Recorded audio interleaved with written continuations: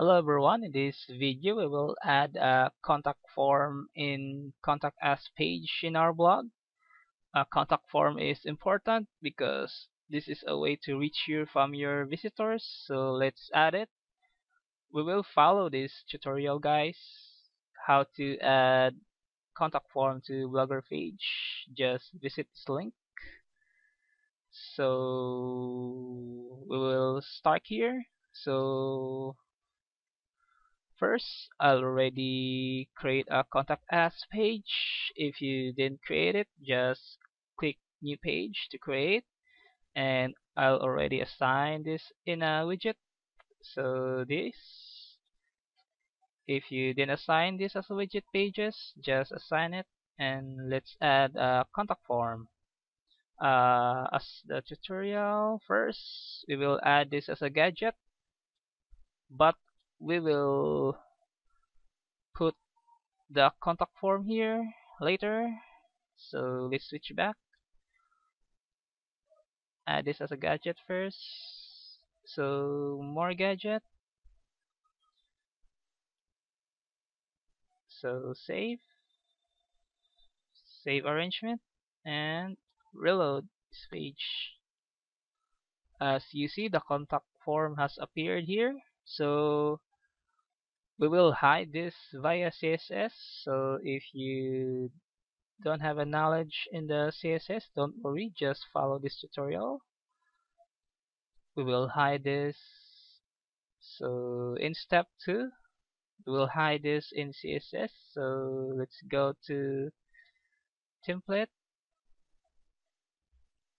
customize add Advanced and scroll down and add CSS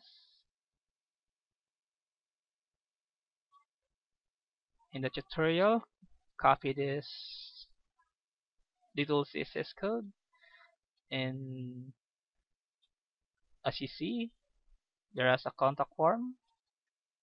So so the contact form is hide after pasting this CSS code and apply to blog.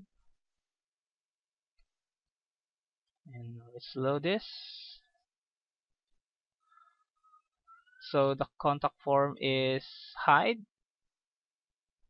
Actually, the contact form is in there, but it is invisible. The reason of this because if the contact form is not there and we put it directly, the contact form will didn't work because the function of the submit of a contact form is getting this invincible contact form there. So we will add the contact form in this page. So let's follow the tutorial. So in step 3, let's go to back to Blogger. So pages. So contact us page.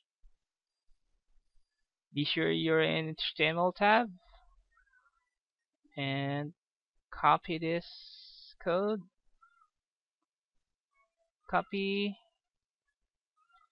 and paste and save or update. So let's reload this page.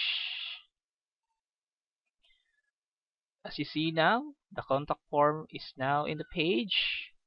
So let's test it.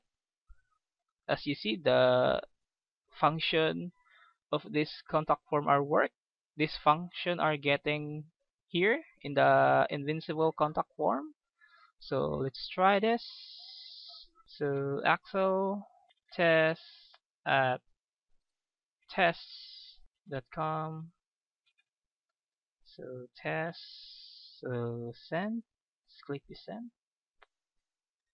So let's check this in the email. So social so as you see the contact form message has received. So it did work guys. So see you next video guys. Don't forget to subscribe my channel. Goodbye.